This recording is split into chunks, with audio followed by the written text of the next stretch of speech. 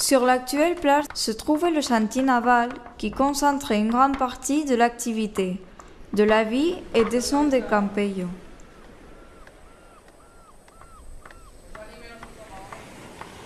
Le bois, le fer, les toupes, les brais donnaient forme aux barques et aux bateaux de la.